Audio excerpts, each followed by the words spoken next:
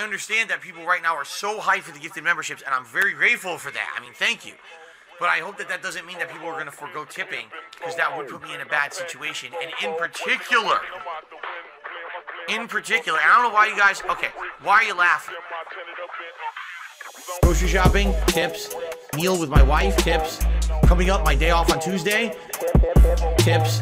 Nintendo Online, tips. Bills and stuff, tips. Tips are the liquidity of my business. Huh? Why are you laughing? Oh, so hilarious that this guy has stuff financially tight. Huh? I literally can't afford stuff on Tuesday on my day off, and you're gonna laugh? Oh, it's funny. When you can't go and do something with your family on your day off, your one day off for the week when you're working full time six days a week. That's funny, right?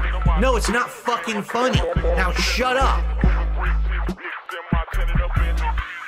Grocery shopping, tips. Meal with my wife, tips. Coming up, my day off on Tuesday, tips. Nintendo Online, tips. Bills and stuff, tips. Tips are the liquidity of my business. Grocery shopping, tips. Meal with my wife, tips. Coming up, my day off on Tuesday, tips.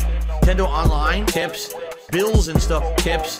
Tips are the liquidity of my business. Huh?